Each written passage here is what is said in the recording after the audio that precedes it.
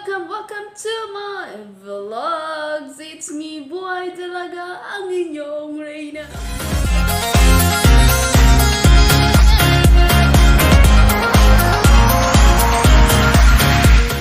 So for today's vlogs mga kabidi, magluluto tayo ng paksiw na bangos. Ganon. So iba tong vlogs na to kasi magluto na naman tayo, hindi na to whole. Whole? Whole. magluluto. Panibagong ano to. Ito ay maiba naman. So magluluto tayo ng paksiw na bangos. Ayan. Pakita ko sa inyo kung ano yung paksiw na bangos ko. So, syempre, Ah, pakita ko sa inyo. Wait lang. Ayan. Ibaba natin. Ayan. Ayan. Ayan. Na, nauna talaga yung ano. Ayan. Syempre, may kawali tayo. Ilagay natin yung bangos. Kasi nandito yung bangos mga kabidi. Ayan. Tapos, ilagay natin dito. Ganon. Ilagay natin dito, mga kabiri. Para mamaya, masarap to. Ayan, binili ko to kanina. Doon sa may ano. Sa maliit na palengke dito, di ba? So, ito yung mga ano ko. Paksiw ko. Paksiw. Paksiw! Paksiw! Paksiw! Yes, ito masarap to. Tapos mamaya magkakamay lang kami na, oh, ang sarap to. Mamaya. So, ayan. Ganyan na po yan. Ganyan na po. Sunod natin gagawin, lagyan natin ng paminta. Since wala kaming pamintang buo, pamintang durog na lang po. Ayan. Ayan, ayan, ayan. Sunod, ilagay natin yung Ayan, naglalagay po ako ng ano, ampalaya at saka talong kasi sobrang sarap po talaga. Sobrang sarap pag may gulay. Kaya kailangan natin kumain ng gulay para healthy lalo na tong ampalaya kasi sobrang maganda to sa katawan yung ampalaya. Yung purma ko talaga nakaganon talaga. So wait lang, taas natin konti.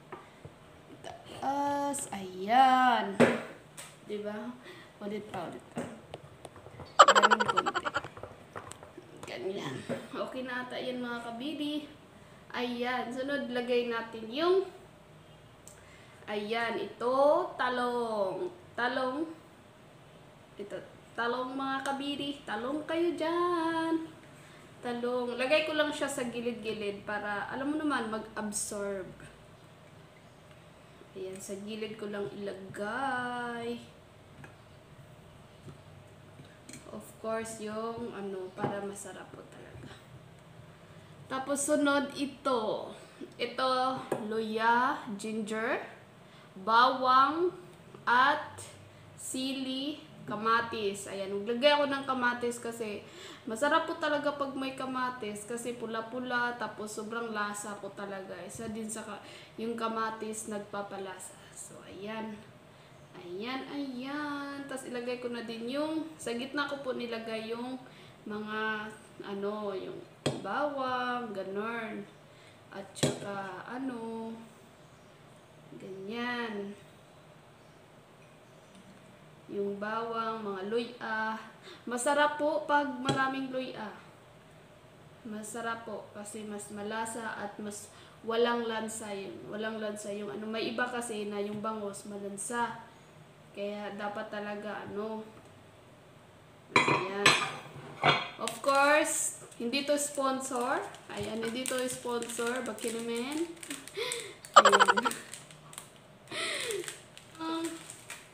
Magic sarap. Kasi isa to sa mga nagpapasarap. Diba? Ganon. Ganon lang yan mga kabishi. Ayan. Para masarap yung ano natin. Lagyan natin ng asin. Ayan. Mga kabidi, maglagay ng asin. Ayan, medyo ma... Tansyado lang po to sa akin mga ano ha. Sa inyo, depende din yan sa inyo. Basta sa akin, tansyado po.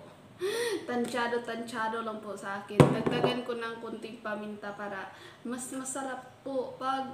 Ay!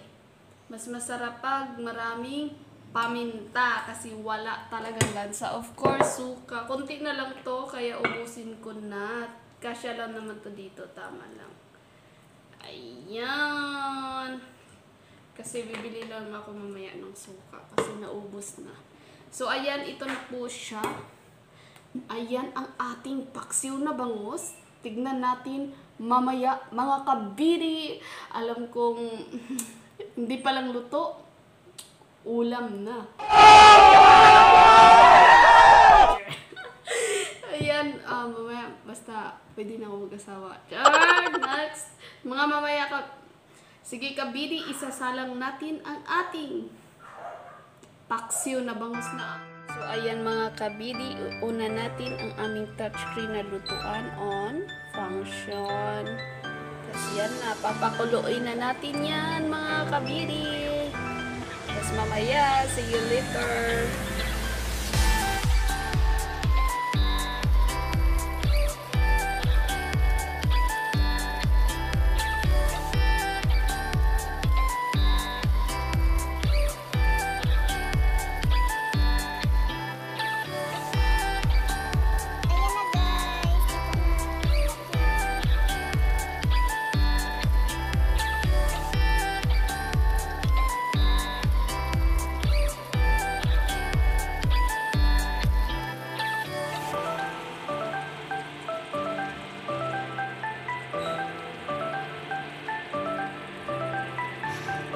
Two thousand years later. Welcome back mga kabidi! Ayan, luto na ang ating paksiw. Ito na po yung paksiw ko mga kabidi. Ayan, bangus na paksiw. Ang sarap.